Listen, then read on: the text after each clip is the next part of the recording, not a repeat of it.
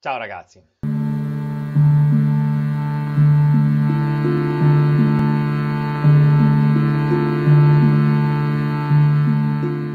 Oggi ti propongo una riflessione tratta dal libro della vita di Krishnamurti, esattamente a tema, cioè la riflessione del 28 settembre. Al di là del tempo. La mente condizionata non è capace di scoprire quello che è al di là del tempo. E la mente, come noi la conosciamo, è condizionata dal passato che attraversando il presente si trasforma in futuro.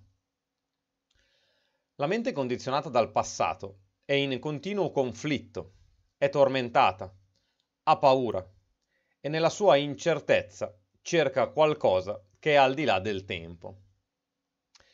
È questo che tutti noi facciamo in un modo o nell'altro.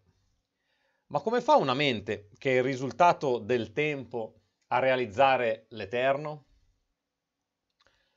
La dimora della vostra fede, dei vostri possedimenti, dei vostri attaccamenti e di tutti quei pensieri che vi danno conforto è costantemente in disordine e in subbuglio.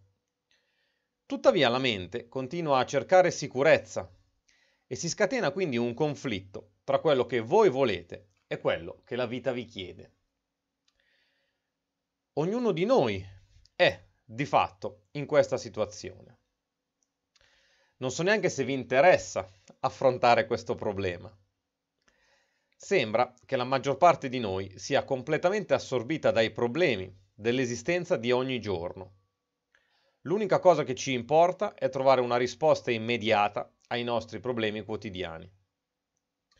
Ma presto o tardi ci accorgiamo che queste risposte immediate non ci soddisfano, perché qualsiasi problema contiene in sé la soluzione e solo se riusciamo a capirlo fino in fondo, in tutta la sua complessità, il problema si risolve per sempre e scompare. Fuori e dentro il viaggio continua. Namaste.